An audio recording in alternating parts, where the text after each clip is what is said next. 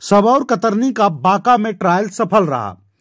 कृषि विज्ञान केंद्र के प्रक्षेत्र में सबौर कतरनी की इस साल बुआई की गई थी। कटाई के बाद कृषि विज्ञान केंद्र के वैज्ञानिक फ़सल के उत्पादन को देखकर संतुष्ट हैं। वैज्ञानिकों ने कहा कि अब यहाँ पर किसानों को इसके लिए प्रेरित किया जाएगा। दरअसल, बांका का चयन वन डिस्ट्रिक्ट वन प्रोडक्ट के तहत कतरनी के लिए किया गया है। इस बार कृषि विज्ञान केंद्र बांका में पूरे बांका ज़िले के लिए प्रतिनिधित्व के रूप में 2000 स्क्वायर मीटर में कृषि फार्म में सबौर कतरनी जो नेचुरल फ़ार्मिंग, प्राकृतिक खेती के रूप में प्रदर्शन किया गया, प्रत्यक्षण किया गया है सबौर कतरनी के रूप में।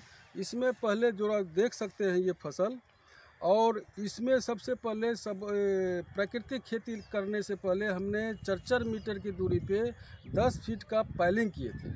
पाइलिंग करने के उपरांत उसके बाद उसमें 90 किलो एक गड्ढा में एफ़ डाले।